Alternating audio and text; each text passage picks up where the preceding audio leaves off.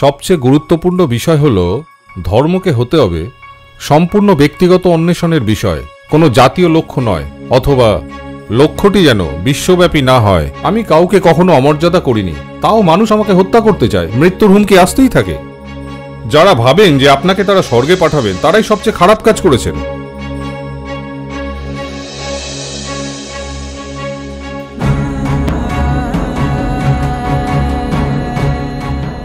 পাকিস্তানি হয়ে যারা এখানে ভারতীয়দের সঙ্গে পড়াশোনা করছে আমরা সবাই তো মিলেমিশেই থাকি। ওই জায়গা থেকে বেরিয়ে এলে তারা বেশ ভালোই করে। নিশ্চয়ই তো সীমান্ত আমাদের আলাদা করে দিয়েছে কিন্তু বহু জিনিসে আমাদের মিল আছে দারিদ্র খেতে না পাওয়া।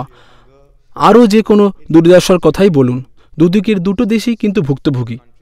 আমাদের বহু মানুষ খালি পেটে ঘুমোতে যান বাচ্চারা স্কুলে যায় না এ ব্যাপারে আপনার মত কি? আর ভারতের সংখ্যাগরিষ্ঠ হল তরুণ প্রজন্ম এবং পাকিস্তানেও তাই। এটা নিয়ে আপনি কি ভাবেন যে কি করে আমরা কাছাকাছি আসতে পারি যন্ত্রণাকে দূর করতে আর একসঙ্গে কাজ করতে পারি সুন্দর ভবিষ্যতের জন্য. এটা ধোঁয়াটে প্রশ্ন। আপনাকে এটা বুঝতে হবে যে একটি দেশ ভগবানের দেওয়া কোনো জিনিস নয় ঠিক আছে? শুধু যখন আপনি একটি দেশকে ধর্মীয় পরিচয়ের আধারে তৈরি করেন, আপনি সেটা ভাবতে পারেন। নয়তো আমরা জানি যে এটা আমাদেরই তৈরি। সংবিধান আমরা লিখি, ভগবানের দেওয়া দলিল নয়। আমরাই লিখেছি। এটা সংশোধনযোগ্য, পরিবর্তনযোগ্য, মানুষের কল্যাণের জন্য যেমনটা প্রয়োজন হয়। তো আজ পৃথিবীতে দেশ থাকার কারণ হল এখনও আমরা সেখানে পৌঁছাতে পারিনি সবাইকে আপন করে নিয়ে একটাই দেশ হয়ে থাকব সারা পৃথিবী জুড়ে। আশা রাখি যে কোনো একদিন সেখানে পৌঁছাবো। কিন্তু আপনারা ইতিমধ্যেই ব্রেক্সিট করেছেন। দেখুন, ইউরোপ যা করেছে, বিগত পনেরো কুড়ি বছরে তা সত্যিই অসাধারণ। দারুণ কৃতিত্ব। প্রথম এবং দ্বিতীয় বিশ্বযুদ্ধের পর কেউ ভাবতেই পারেনি যে জার্মান, ফরাসি ইটালিয়ান এবং ইংরেজরা একসঙ্গে আসতে পারবে। কেউ কল্পনা করেনি। এটা কল্পনা করতে পারতেন উনিশশো পঁয়তাল্লিশ সালে, বলুন তো? না। কিন্তু এই ইউরোপিয়ান ইউনিয়নটি করা কোনো ছোটোখাটো জিনিস নয়। এটাকে শুধু অর্থনৈতিক ব্যবস্থা ভাববেন না, এটা মানব চেতনা এক বিশাল বিবর্তন। হ্যাঁ কি না? কিন্তু এখন আপনারা ব্রেক্সিট করছেন।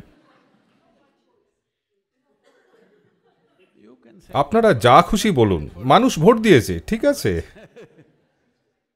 মানুষ এটা বেছে নিয়েছে। অর্থনৈতিক কারণ, অন্য দেশ থেকে আসা লোকের ভয় বা যাই হোক না কেন, কাউকে দোষ দিচ্ছি না তার জন্য। আমার কথা হলো, একইভাবে এই ভারত, পাকিস্তান, বাংলাদেশ নিয়ে পুরো অঞ্চলটা আর শ্রীলঙ্কা, নেপাল সমেত পুরোটাই একটা দেশ ছিল। যদিও রাজনৈতিকভাবে আমরা আলাদা দেশ ছিলাম। একটা সময় ছিল যখন দুশোরও বেশি রাজনৈতিক সত্তা ছিল আমাদের। কিন্তু তবুও আমরা একটাই দেশ ছিলাম সংস্কৃতির দিক থেকে অন্যান্য অনেক দিক থেকে বা যৌথ আদান প্রদানের ক্ষেত্রে। কিন্তু কারণ যাই হোক, ইতিহাসের কাটাছেঁড়া করে কোনো লাভ নেই। এই ব্যক্তিকে, ওই ব্যক্তিকে বা পরিস্থিতি, অবস্থাকে দোষ দিয়ে এটা ঘটে গেল। কেউ লাইন টেনে দিল। এই অঞ্চলের ভূগোলকে বিচার না করেই মাঝখান দিয়ে নদী, গ্রাম, পাহাড়ের একেবারে মাঝখান দিয়ে কেউ একজন লাইন টেনে দিল। এমন একটা লাইন যাকে আপনি সুরক্ষা দিতে পারবেন না। এমন একটা লাইন যার জন্য আপনাকে সর্বদা সজাগ থাকতে হবে। তাকে যদি বাঁচিয়ে রাখতে হয় দুটো দেশের মাঝখানে। আর সব কিছুর ঊর্ধ্বে একটা জিনিস আমাদের নিয়ে আসতে হবে। যদি এই তরুণ প্রজন্মের সবাই, আপনারা সকলেই যদি এই পৃথিবীর ভবিষ্যৎ নিয়ে ভাবেন, আমরা তো এখনও সেখানে আসেনি, যেখানে মানুষ বেঁচে থাকবে তাদের চৈতন্যকে ভর করে, ধর্ম, স্বর্গ আর সব কিছুকে উপেক্ষা করে। কিন্তু এটুকু অবশ্যই করুন এই প্রজন্মের জন্য। আগামী প্রজন্মকেও অবশ্যই এটুকু করতে হবে যে ধর্ম যেন মানুষের ব্যক্তিগত চর্চার বিষয় হয়। যারা চায়, তারা তাদের মতো করে অভ্যাস করুক। কিন্তু আমার ধর্মকে দিয়ে পৃথিবীকে জয় করার এই ক্ষমতা লিপসাকে তাড়াতেই হবে। এই একটি লক্ষ্য আপনাদের পূরণ করতেই হবে আগামী পঁচিশ বছরের মধ্যে। না হলে প্রযুক্তির যা উন্নতি হয়েছে, তাতে ভয়ঙ্কর বিপর্যয় নেমে আসবে এই গ্রহটিতে। তাই না? The days of the sword R over. তরবারির দিন আর নেই তরবারির দিন শেষ হয়ে গেছে। এখন যদি সেই একই মনোভাব নিয়ে এগোই এমন এক তীব্র ভয়ঙ্কর বিপর্যয় হবে আমাদের যে কেউই কোনো উপকার পাবে না তা থেকে। এই গ্রহটির উপকার হবে না কোনো একটি জীবেরও উপকার হবে না সকলেই ক্ষতিগ্রস্ত হবে এই কারণে। আমার কথা হলো আপনারা তো সকলেই একটি অভিজাত শিক্ষা প্রতিষ্ঠানে পড়ছেন। একটি জিনিস অবশ্যই স্থির করে যান। যেখানেই যান যে ধর্ম থেকে আপনি আসুন না কেন প্রতিটি মানুষকে বোঝান যে তার ধর্ম তার ব্যক্তিগত চর্চার বিষয়। আপনি যা চান তাই করুন ঠিক আছে? আপনি ওপরে দেখুন নিচে দেখুন যেদিকে খুশি দেখুন ওটা আপনার ব্যাপার ঠিক আছে? কিন্তু আমাকে বলবেন না কোন দিকে দেখতে হবে? আমাকে বলবেন না কোন দিকে দেখব কাউকে বাধ্য করবেন না এটাই সেই রাস্তা বা ওটাই সেই পথ। এই একটি জিনিস যদি চলে যায় ভারত পাকিস্তান থিতু হয়ে যাবে, কারণ এখানে সাংস্কৃতিক আদান প্রদান রয়েছে, ঠিক আছে? একটা ঘটনা বলছি, দুবাইয়ের সাউথ এশিয়া কনফারেন্সে, সম্প্রতি আমি ছিলাম, আর ঠিক তখনই ভারতে সন্ত্রাসবাদী হামলা হয়, আর সব পাকিস্তানিকে বাদ দিতে বলা হয় সেখান থেকে, আর দুর্ভাগ্য হলো সেটাই ঘটে। আমি চেয়েছিলাম তারা থাকুন, কিন্তু তাদের বেরিয়ে যেতে হয় ওই ঘটনাটার জন্য। যেটা আশা করা হচ্ছে বা আমরা যেটার জন্য চেষ্টা করছি যে দক্ষিণ এশিয়া বলতে যা বোঝায়, ভারত, পাকিস্তান, নেপাল, শ্রীলঙ্কা, আফগানিস্তান, ভুটান, মায়ানমার, এই সম্পূর্ণ ভৌগোলিক অঞ্চলটিতে আমরা চাইছি ইউরোপিয়ান ইউনিয়নের মতো কিছু একটা। রাজনৈতিকভাবে আপনি আলাদা হতেই পারেন, যে কোনো ধর্ম আপনি পালন করতেই পারেন, কিন্তু অর্থনৈতিকভাবে যদি একসাথে আসা যায় এক সময় আমরা বিশ্বের সবচেয়ে সমৃদ্ধশালী অঞ্চল ছিলাম। তার কারণ, আমরা সেই সময় একটি কেন্দ্র হিসেবে কাজ করতাম নানা রকমভাবে। কিন্তু এখন আর সেই উপায় নেই। প্রত্যেকেই তাদের ছোট্ট গণ্ডির মধ্যে আটকে গেছে। তো এই একটি জিনিসের জন্য আমাদের চেষ্টা করতে হবে। যদি তা করতে চান, সবচেয়ে গুরুত্বপূর্ণ বিষয় হলো ধর্মকে হতে হবে সম্পূর্ণ ব্যক্তিগত অন্বেষণের বিষয়। কোনো জাতীয় লক্ষ্য নয়, অথবা লক্ষ্যটি যেন বিশ্বব্যাপী না হয়। লক্ষ্যটা এই মুহূর্তে বিশ্বজনীন হয়ে গেছে। এটা হওয়া উচিত ব্যক্তিগত অন্বেষণ, বিশ্বব্যাপী নয়। এই একটি জিনিস যদি করেন, ভারত, পাকিস্তান, এইসব দেশগুলো এবং অন্যান্য বহু দেশের একজোট হওয়া বাস্তবে পরিণত হবে। ধন্যবাদ।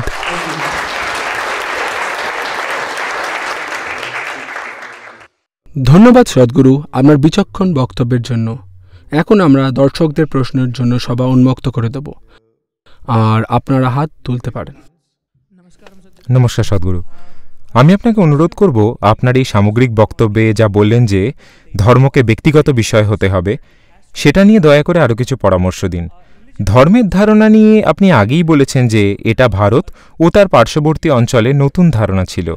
কিন্তু তা সত্ত্বেও মানুষ ধর্ম, সমাজ ও সংস্কৃতির মধ্যে বিভেদের লাইন টেনেছে, যা পরবর্তীকালে সংঘর্ষে জন্ম দিয়েছে। তো এই পরিপ্রেক্ষিতে আপনি কীভাবে ইনার ইঞ্জিনিয়ারিং বা যোগকে বিবাদ মেটানোর উপায় হিসাবে দেখছেন এবং ধর্মের বাধা ভেঙে কীভাবে নিজের অন্তর্জগতের দিকে দৃষ্টি দেয়া যায় বলে মনে করছেন। তো আপনি ভবিষ্যৎবাণী চান না, পরিকল্পনা চান?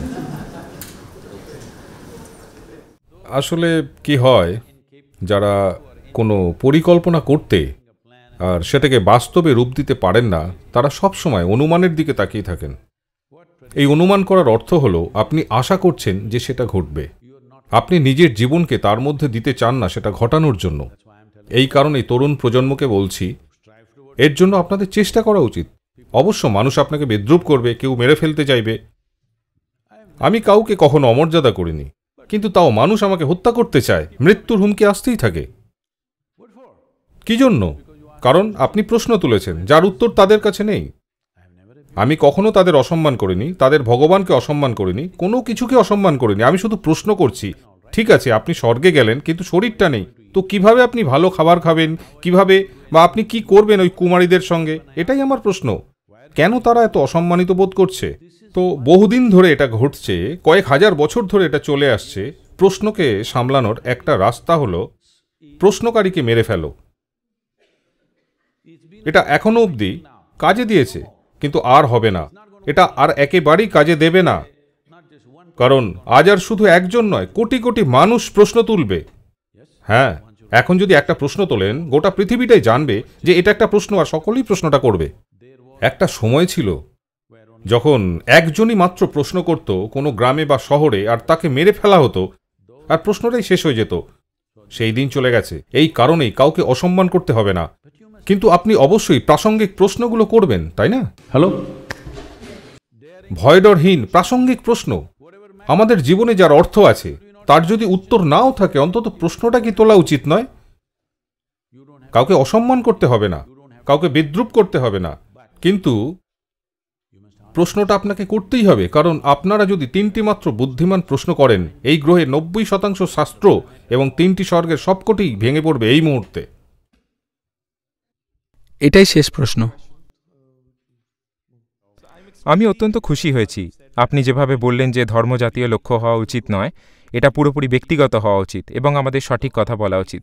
কিন্তু আপনার মতো একজন মানুষ যার দিকে অনেক মানুষ তাকিয়ে থাকেন, এটা কি মনে করেন না যে আমাদের একটি সামাজিক দায়িত্ব আছে আর যেসব পার্টি ধর্মীয় চরমপন্থা ছড়াচ্ছে তাদের বিরুদ্ধে সরব হওয়া উচিত? আমরা তো সবাইকে খুশি করতে পারব না। এই ব্যাপারে আপনার মত কি? কারণ আপনি বলছেন যে আপনি কোনো রাজনৈতিক দলের সঙ্গে নেই এবং ভোট দেওয়ার ব্যাপারে কাউকেই প্রভাবিত করতে চান না। কিন্তু এটা কি মনে করেন না যে আমাদের সেটার বিরুদ্ধে উঠে দাঁড়ানো উচিত যেটা ভুল? আমি কোনো কিছুর বিরুদ্ধে নই, এটাই আপনাকে বোঝাতে চাইছি। আমি মানবতার পক্ষে। নানা রকমভাবে মানুষ এখানে এসেছে। এটা আমার ভালোই লাগে। কারণ তাদের সকলেই যদি আমার মতো হয়ে যায়, এই পৃথিবীতে আমি থাকতে চাইব না। তারা সকলেই আলাদা। তাই এটা এত সুন্দর। এই যে দেখুন, প্রত্যেকেই কত আলাদা। এই কারণেই এটা সুন্দর। কিন্তু নির্বোধরা চেষ্টা করছে সবাইকে তাদের মতো করে নিতে। শুধু কল্পনা করুন, আপনার বাড়িতে আর একজন যদি আপনার মতো হতো, আপনি কি থাকতে পারতেন? One is too much? একজনই যথেষ্ট তাই না? But they want a world full of their own kind. কিন্তু ওরা গোটা পৃথিবীটাকেই ওদের মতো করে নিতে চায়। তো আমি কারোর বিরুদ্ধে নই ঠিক আছে? সকলেই তারা যেটা বলতে চায় সেটাই বলছে। যতক্ষণ না তারা প্রভূত ক্ষমতাশালী হচ্ছে ঠিকই আছে তারা তাদের মতামত জানাচ্ছে। এই মতামত হলো ছানি পড়ার মতো। এটা যত বেশি থাকবে আপনি তত কম দেখবেন। তাই আমি তাদেরও স্বচ্ছ দৃষ্টি নিয়ে আসার চেষ্টা করছি। মানুষ বলে যে, সদ্গুরু, আপনি সেলিব্রিটিদের সঙ্গেই থাকেন, এই লোকটির সঙ্গে কেন নয়? আপনি নেতাদের সঙ্গেই থাকেন, এই লোকটির সঙ্গে কেন নয়? আমি বলি, দেখুন, গত বাইশ বছর ধরে আমি জেল বন্দীদের নিয়ে কাজ করছি, ভারতে এবং আমেরিকায়। সব সময় আমি রয়েছি, খুনি, ধর্ষক বা সব রকমের মানুষকে নিয়ে। তারাও আমাকে নিয়ে খুশি। কারণ, মানুষই তো এসব করে ফেলে।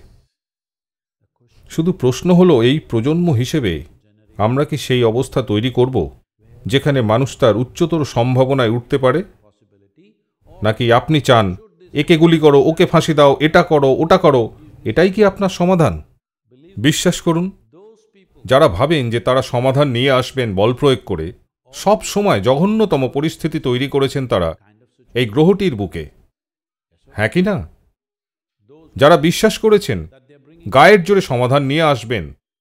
তারাই সবচেয়ে খারাপ কাজ করেছেন, তাই নয় কি? যারা ভাবেন যে আপনাকে তারা স্বর্গে পাঠাবেন, তারাই সবচেয়ে খারাপ কাজ করেছেন। যারা বিশ্বাস করেছেন, জোর করে তারা সবাইকে সমান করবেন আর সাম্য নিয়ে আসবেন, তারাই সবচেয়ে ভয়ঙ্কর কাজ করেছেন এই গ্রহের বুকে। আমরা সেই ভুল আর করতে চাই না। আপনাদের এটা বোঝাতে চাই যে সেই ভুল আর করতে পারি না। এই আধুনিক অস্ত্র আর প্রযুক্তির সময়ে। সেই ভুলগুলো আর করা সম্ভব নয় এই গ্রহটির বুকে। আমরা যদি সেই ভুলগুলো আবার করি, আমার ওই, এই নামগুলো বলার কথা নয়, তবুও Mussolini, Adolf Hitler, Joseph Stalin বা আরও যেসব ধর্মীয় উন্মাদরা যা করেছে, আমরা যদি সেই ভুলগুলো এই একুশ শতকে আবার করি, গোটা মানব জাতিটাকে আমরা শেষ করে ফেলব। আমরা কোনোভাবেই আর সেটা করতে পারি না। তাই আমাদের সবার জন্য এগিয়ে যাওয়ার একমাত্র রাস্তা হলো, আপনাকে নিয়ে যাই ভাবি না কেন। আমরা আপনাকে গ্রহণ করব, আপনি যেভাবে আছেন সেভাবেই, আর দেখব অন্তত কিছু বিষয়ে কীভাবে সহমত হতে পারি। আমরা সবাই চাই সুস্বাস্থ্য, আমরা সকলেই বাঁচতে চাই, আনন্দে, শান্তিতে, অন্তত এই বিষয়ে আমরা সকলে এক জায়গায় আছি। ঠিক আছে, আপনি ভগবানকে পূর্ব দিকে ডাকেন, আমি ডাকি পশ্চিম দিকে, অন্য কেউ ডাকে অন্য কিছু দিকে কেউ হয়তো আবার কিছুকেই ডাকে না. এটা তাদের পছন্দ। তাদের মতো করেই করতে দিন। কিন্তু গুরুত্বপূর্ণ হলো চাহিদা বা মানুষের মৌলিক চাহিদাগুলো এরকম। সেই ভৌত চাহিদাগুলো মিটিয়ে ফেলা দরকার। এই প্রজন্মের সৌভাগ্য যে আগে কখনো সেটা হয়নি। অভিযোগ এখনও আছে ঠিকই। দুর্ভাগ্য যে সমাজের বেশ কিছু অংশ এখনও এর বাইরে আছে। কিন্তু তবুও সর্বাধিক সংখ্যক মানুষের জন্য জীবনধারণ আগের চেয়ে অনেক উন্নত হয়েছে। হ্যাঁ কি না? হ্যাঁ হয়েছে বই কি? আজ যদি আপনার টাকা থাকে, আপনি কোনো স্টোরে যাবেন আর আগামী এক বছরে যা দরকার সব কিনে নিতে পারেন, বাড়ি থেকে না বেরিয়েও আপনি চালিয়ে নিতে পারেন। বিশ্বাস করুন, আপনি যদি একশো কি হাজার বছর আগে এখানে আসতেন, দিন শুরু করার সময় একটি বালতি নিয়ে আপনাকে এক মাইল হেঁটে টেমস নদীতে যেতে হতো জল আনার জন্য। এখন অধিকাংশেরই এক বালতি জল নিয়ে এক মাইল হেঁটে যাওয়ার মতো সক্ষমতা আর নেই। হ্যাঁ কি না? তো জীবন ধারণ আগের চেয়ে অনেক বেশি সুসজ্জিত। চিরকাল আমাদের সমস্যা ছিল খাদ্য, জল, বাসস্থান, পোশাক নিয়ে। এই প্রথম সকলের পাঁচ গুণ বেশি পোশাক রয়েছে আপনাদের দাদু ঠাকুরদার চেয়ে হ্যাঁ কি না? হুম? আপনাদের সকলের পাঁচ গুণ বেশি পোশাক রয়েছে দাদু ঠাকুরদার চেয়ে আপনারা খেয়েও যাচ্ছেন। এখন তো কীভাবে কম খাওয়া যায় সেটাই বড় প্রশ্ন। এটাই প্রথম প্রজন্ম যাদের ভাবতে হচ্ছে কতটা খাব সেটা নিয়ে। প্রত্যেক প্রজন্মের মানুষরা যখন খেতে বসতেন, যতটা বেশি সম্ভব খাবার খাওয়া যায়, তারা খেয়েই যেতেন, কারণ শারীরিকভাবে তখন বহু রকমের কাজ করতে হতো। আগের প্রজন্মের মানুষদের খাওয়া যদি দেখেন, যখন তারা খেতে বসতেন, তারা এভাবে বসতেন। আর ভারতে সবাই তো মাটিতেই বসে খেতেন, তারা পুরো পেট ভরে খেতেন আর একটু আর একটু আর একটু বেশি হয়ে যেত। কারণ শারীরিক পরিশ্রম এত বেশি ছিল, আপনি ওভাবে না খেলে আপনার রসদ ফুরিয়ে যাবে। এটা সত্যিই জ্বালানির মতো ছিল। যেন ট্যাঙ্ক ভর্তি করে নিতে হবে, যত বেশি পারেন ভর্তি করে নিতে চান।